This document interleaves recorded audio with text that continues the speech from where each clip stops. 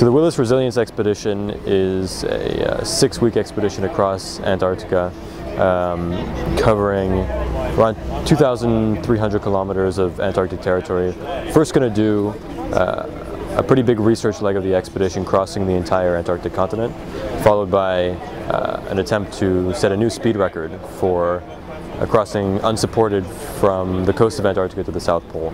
Now the reason why we're doing this in particular is because we want to contribute to an understanding of our changing world. Um, we are undertaking three new research programs uh, from a new lightweight weather station to uh, testing the composition of Antarctic snow at various depths and, and, identifying trends over, over recent years. So what we're doing is, is contributing information to the scientific community to try to help better understand, uh, at least in our play our part in, in helping to better understand uh, the climate system. And this is especially important in the context of the IPCC report uh, on the physical science basis of climate change, which, which is being released today actually.